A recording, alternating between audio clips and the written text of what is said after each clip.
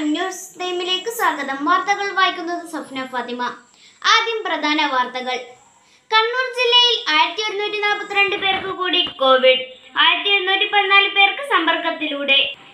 Covid മരണങ്ങളുടെ വിവരങ്ങൾ അറിയാൻ പ്രത്യേക സംവിധാനവുമായി സംസ്ഥാന സർക്കാർ.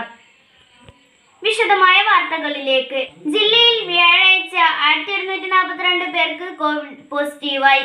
സമ്പർക്കത്തിലൂടെ ആയിരത്തി ഒരുന്നൂറ്റി പതിനാല് പേർ സംസ്ഥാനത്ത് നിന്നും എത്തിയ പതിമൂന്ന് പേർക്ക് വിദേശത്ത് നിന്നും എത്തിയ ഒരാൾക്കും പതിനാല് ആരോഗ്യ പ്രവർത്തകർക്കുമാണ് കോവിഡ് സ്ഥിരീകരിച്ചത്. നമസ്കാരം. മോർണിംഗ് ന്യൂസിലേക്ക് സ്വാഗതം. വാർത്തകൾ വായിക്കുന്നത് സഫ്ന ഫാത്തിമ. ആദ്യം പ്രധാന വാർത്തകൾ. മണക്കുന്ന് ഗ്രാമപഞ്ചായത്തിലെ ഗ്രാമം റോഡിലെ പുളക്കൽ ശാരദയുടെ വീട്ടുമുറ്റത്ത് കിണറിന് സമാനമായ രീതിയിൽ ഗർത്തം കണ്ടെത്തി. കൊട്ടിയൂരിലെ വന അതിർത്തി പ്രദേശങ്ങളിലെ ജനങ്ങൾക്ക് മുൻപിൽ വനവകുപ്പിന്റെ പുനരധി വാസ പാക്കേജ്. വിശദമായ വാർത്തകളിലേക്ക്.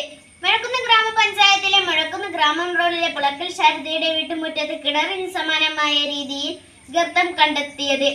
രണ്ടരക്കോൽ താഴ്ചയിൽ കിണറിന് സമാനമായി ഗർത്തം രൂപപ്പെട്ടത്. പുലർച്ചെയാണ് വൻ ശബ്ദത്തോടെയാണ് ഗർത്തം രൂപപ്പെട്ടത്.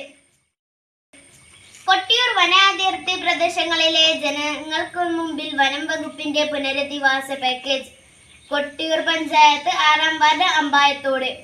പത്ത് കൊട്ടിയൂർ. പതിനൊന്ന് തലക്കാണി. പന്ത്രണ്ട് പെങ്ങലോടി. വാർത്തകൾ കഴിയുന്നു. നന്ദി നമസ്കാരം.